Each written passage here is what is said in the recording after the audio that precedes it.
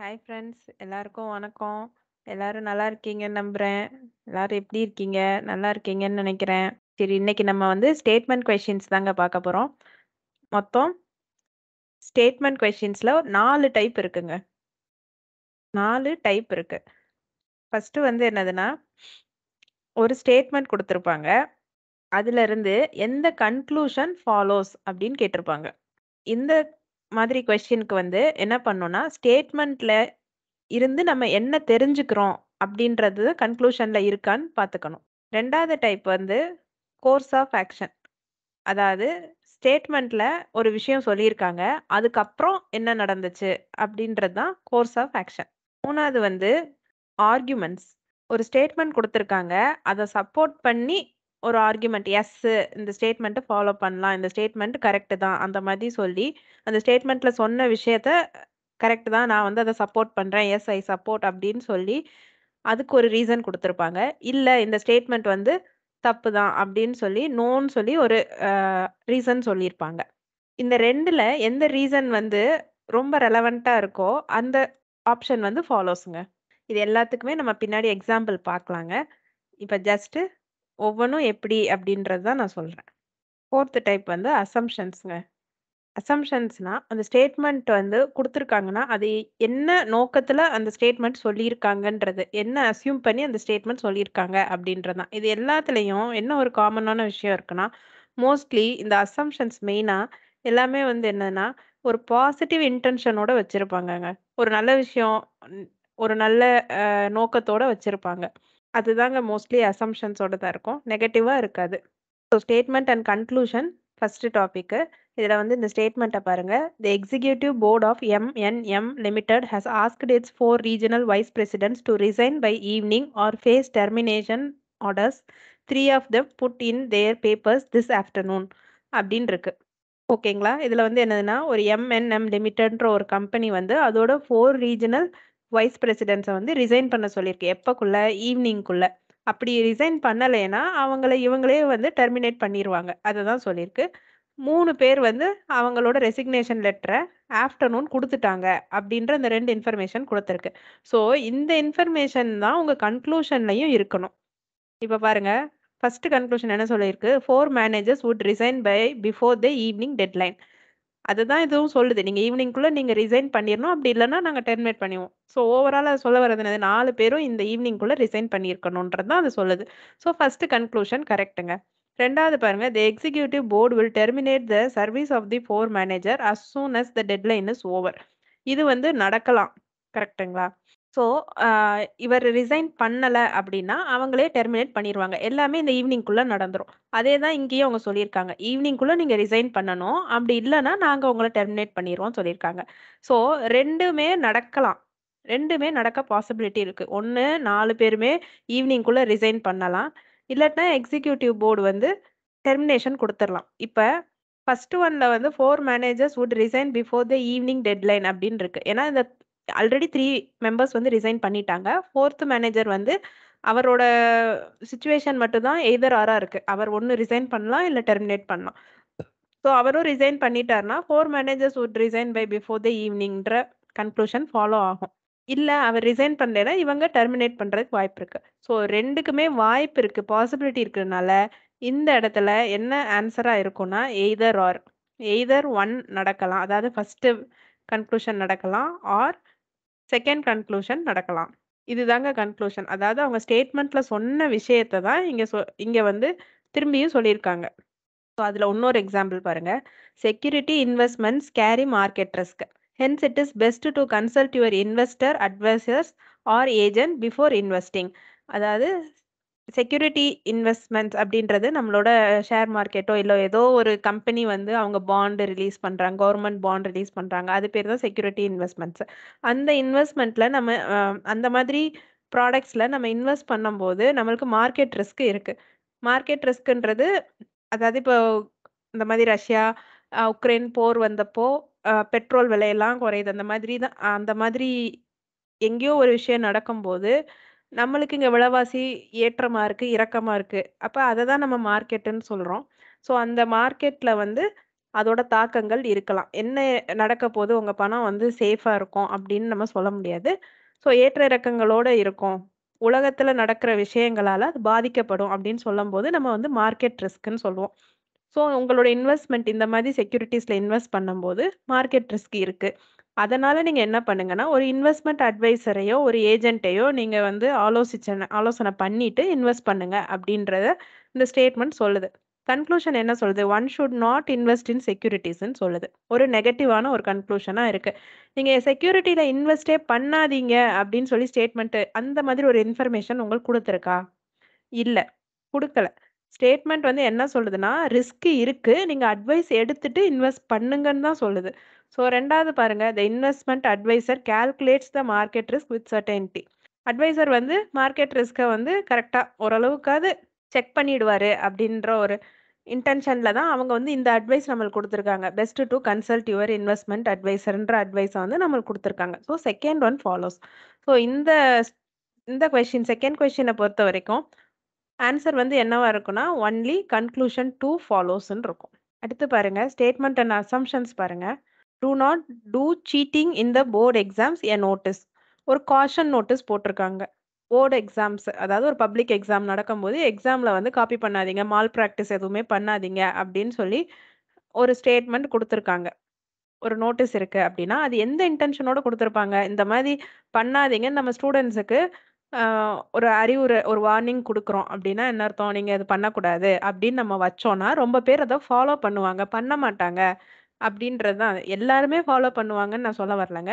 அது என்ன நோக்கத்துல வச்சாங்கன்னா, ஸ்டூடண்ட்ஸ் வந்து அதுபடி நடப்பாங்க அப்படின்னு சொல்லி தான் அந்த போர்டு வைக்கிறாங்க. So it is possible to do cheating in the board exam. Such warning will have some effect. So இதுல வந்து ஃபர்ஸ்ட் ஆப்ஷன் வராதுங்க.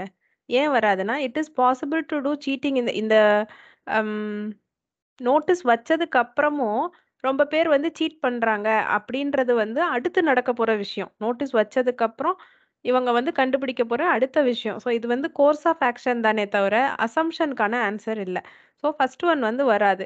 இப்போ ஜீப்ரா கிராசிங்கில் கிராஸ் பண்ணுங்க அப்படின்னு சொல்லிட்டு நம்ம சொல்கிறோம் ஏன் சொல்கிறோன்னா ஜீப்ரா கிராசிங் வந்து இவங்க கிராஸ் பண்ணுறதுக்குன்னு போட்டது. அதுக்கு அதுக்கு முன்னாடி வரைக்கும் வெஹிக்கிள்ஸ் வந்து நின்றுக்கும் சிக்னலில் ஸோ இவங்களுக்கு சேஃபாக இருக்கும் அப்படின்னு சொல்லிட்டு தான் நம்ம சொல்கிறோம் அதை வந்து ஃபாலோ பண்ணுறது பண்ணாதது இண்டிவிஜுவலோட ஒப்பீனியன். ஆனால் பண்ணால் நல்லதுன்னு சொல்லி அந்த நல்ல எண்ணத்தில் தான் நம்மளுக்கு வந்து அந்த இன்ஸ்ட்ரக்ஷன்ஸ் கொடுக்கப்படுது.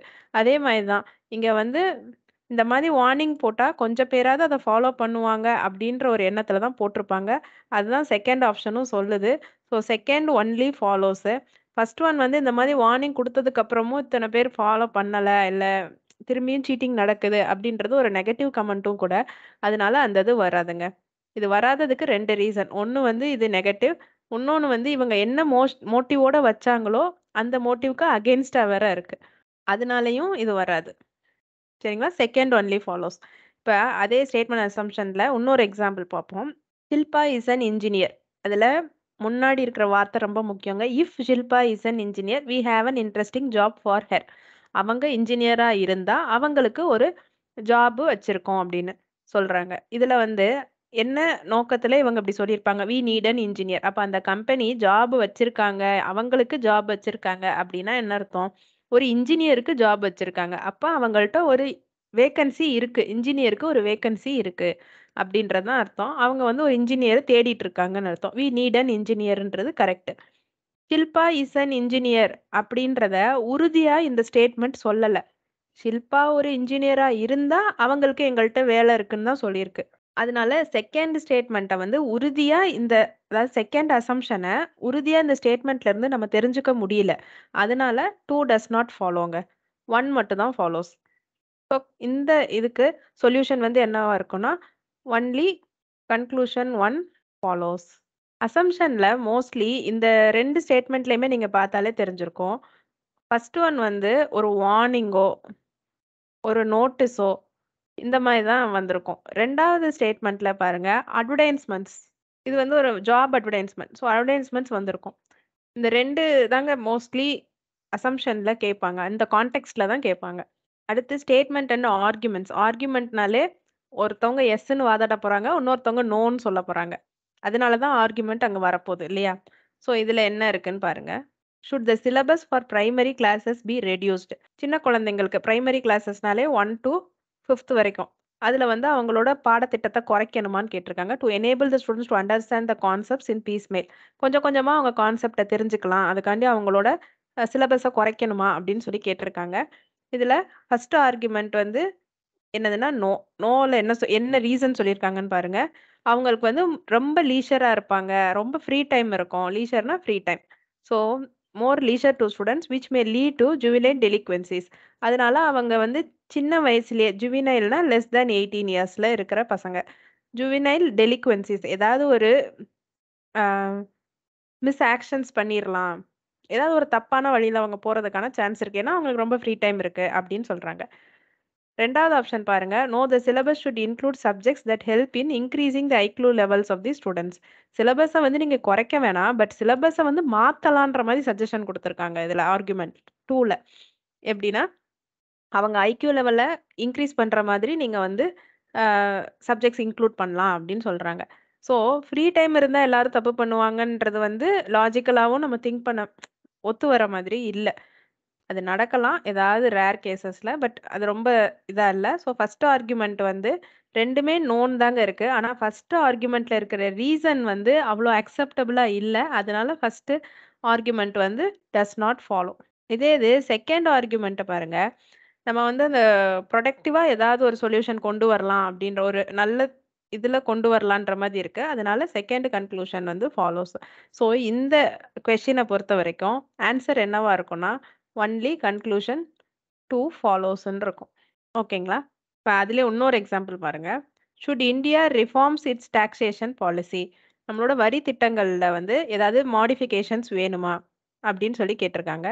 இதுக்கு ஆர்குமெண்ட் வந்து ரெண்டுமே எஸ்ன்னு தான் இருக்குது ஃபஸ்ட்டு எஸ்ஸுக்கு என்ன ரீசன் கொடுத்துருக்காங்கன்னு பாருங்கள் it helps in rationalisation of the taxes அதாவது டாக்ஸஸ் வந்து ஒரு ஒழுங்குபடுத்துறதுக்கு ஒரு சீரமைக்கிறதுக்கு இது உதவும் அப்படின்னு சொல்கிறாங்க கரெக்ட் அதில் என்னென்ன லேப்சஸ் இருக்குது ப்ளஸ் அண்ட் மைனஸ் இருக்குன்னு நம்ம பார்த்து அதை கரெக்ஷன் பண்ணலாம். ஸோ இது வந்து அக்செப்டபுளாக இருக்குது அதோட ரீசனும் அக்செப்டபுளாக இருக்குது ஸோ ஒன் வந்து ஃபாலோஸ் டூ வந்து பாருங்க நம்ம மாற்றணும் அதாவது டாக்ஸேஷன் பாலிசியில் சேஞ்சஸ் கொண்டு வரணும். ஏன்னா மெனி கண்ட்ரீஸ் வந்து டூயிங் ஸோ அப்படின்னா மித்த கண்ட்ரீஸ் தான் பண்ணியிருக்காங்க. அதனால நம்ம பண்ணணும் அப்படின்னு கேட்குறாங்க நம்ம அப்படி பண்ண முடியாதுல்ல. பக்கத்து வீட்டுக்காரன் வீடு கட்டிட்டான்னு நம்ம வீடு கட்ட முடியாது. நம்மளோட ஃபினான்ஷியல் பொசிஷன் எப்படி இருக்கு? நம்மளுக்கு அது நீட் இருக்கா? அப்படின்னு பார்த்து தான் நம்ம செய்ய போறோம். ஸோ அடுத்த கண்ட்ரீஸ்ல இம்ப்ளிமெண்ட் பண்ணிட்டாங்கன்ற காரணத்துக்காண்டி நம்மளும் அதை இம்ப்ளிமெண்ட் பண்ண முடியாது. ஸோ செகண்டோட ரீசன் வந்து அவ்வளோ லாஜிக்கலாக இல்லை. ஸோ செகண்ட் வந்து டஸ் நாட் ஃபாலோ ஸோ இந்த ஸ்டேட்மெண்ட்டுக்கு வந்து ஆன்சர் என்னவா இருக்குன்னா ஒன்லி ஒன் ஃபாலோஸ்ன்னு இருக்கும். இப்போ statement and course of action பாருங்க. கோர்ஸ் ஆஃப் ஆக்ஷன்னா அதுக்கு அடுத்து நடக்கக்கூடியது. ஸ்டேட்மெண்ட்ல சொன்ன விஷயத்துக்கு அடுத்து நடக்கக்கூடியது. இங்க பாருங்க most of the products of the company has been returned by their wholesalers as the piece are defective அதாவது ஒரு கம்பெனி இருக்குங்க அங்க இருந்து ரொம்ப பேர் வாங்கிட்டு போறாங்க ஹோல்சேல் பண்ணுது அந்த கம்பெனி அவங்க ரொம் வாங்கிட்டு போன கஸ்டமர்ஸ் எல்லாம் டிஃபெக்டிவா இருக்குன்னு திருப்பி தராங்க. இதுல அடுத்து அந்த கம்பெனி என்ன மாதிரி ரியாக்ஷன் கொடுக்கலாம் அப்படின்னு தான் கேட்குறாங்க அதுதான் கோர்ஸ் ஆஃப் ஆக்ஷன் நெக்ஸ்ட் அந்த கம்பெனி என்ன பண்ணும்? அந்த ஹோல்சேல் பண்ணுற கம்பெனி என்ன பண்ண போகுது அப்படின்னு the company should not take these pieces back as it was the responsibility of the wholesaler to check and then take a piece அப்படின்னு சொல்கிறான் ஹோல்சேல் அப்படின்னாலே பல்கா தான் வாங்க போகிறாங்க அதில் அவங்க ஒவ்வொரு ப்ராடக்ட்டும் செக் பண்ணி பார்க்க முடியாது. ஸோ இது வந்து ப்ராக்டிக்கலி நாட் பாசிபிள் இன்னொன்று வந்து அப்படி எந்த ஹோல்சேலரும் சொல்ல முடியாது. நீங்கள் இது உங்களோட இதுதான். நம்ம ரீட்டைலருக்கு நம்ம ஒரு பீஸ் ரெண்டு பீஸ் வாங்குறதுனால நீங்கள் செக் பண்ணி வாங்கணும். நாங்கள் எக்ஸ்சேஞ்ச் பண்ண மாட்டோம் அப்படின்னு சொல்லுவாங்க. ஆனா ஹோல்சேலர் வந்து அப்படி இல்லை. பண்டல்ஸ் டுகெதரா வாங்கும்போது அவங்கள்ட்ட இவங்க இப்படி டிமாண்ட் பண்ண முடியாது. ஸோ லாஜிக்கலா இது பாசிபிள் இல்லை. ஸோ ஃபர்ஸ்ட் கன்க்ளூஷன் வராது. செகண்ட் கன்க்ளூஷன் பாருங்க. The company should try to find what was wrong with its products correct அதை அக்செப்ட் பண்ணிட்டு இதில் என்ன பிரச்சனை இருக்கு?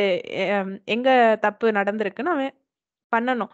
அவன் வந்து ஸ்டடி பண்ணணும். அப்படின்னா தான் அடுத்த வாட்டி அது நடக்காமல் அவர் பார்த்துக்க முடியும். ஸோ செகண்ட் கன்க்ளூஷனோட லாஜிக்கும் கரெக்டாக இருக்குது ஸோ செகண்ட் கன்க்ளூஷன் வந்து ஃபாலோஸ் தேர்ட் பாருங்க the company should replace these defective pieces with fresh properly checked pieces so அதை எக்ஸ்சேஞ்ச் பண்ணி கொடுத்துட்றது தான் பெஸ்ட்டு ஸோ தேர்டும் ஃபாலோஸ் ஸோ இந்த ஸ்டேட்மெண்ட்டை பொறுத்த வரைக்கும் கன்க்ளூஷன் அதாவது இந்த course of action two and three follows இதுதான் இதோட ஆன்சராக இருக்கும்.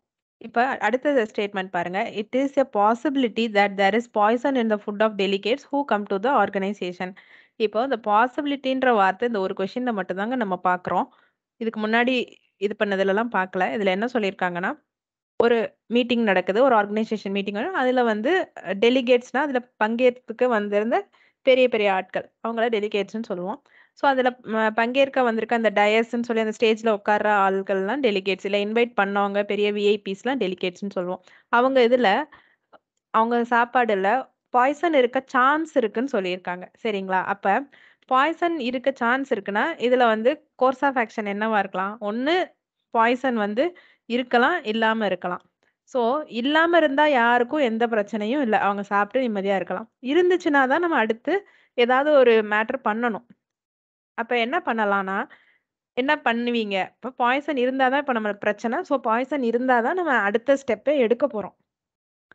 ஸோ இதில் மூணுமே பாருங்க, பாய்சன் இருந்தால் என்ன பண்ணலான்ற மாதிரி தான் மூணு கன்க்ளூஷன் அதாவது மூணு கோர்ஸ் ஆஃப் ஆக்ஷனுமே கொடுத்துருக்காங்க ஃபர்ஸ்ட் ஒன் பாருங்க, medicines for food poisoning should be given to them correct. Medicine food poison இருந்தால் அவங்களுக்கு மருந்து கொடுக்கணும் the delegate should rush to the hospital. மருந்து கொடுக்கறதுக்கு முதல்ல அங்கே டாக்டரோ இல்லை வந்திருக்கணும். இல்லை ஹாஸ்பிட்டலுக்கோ கூட்டு போயிருக்கணும். கரெக்ட்டுங்களா?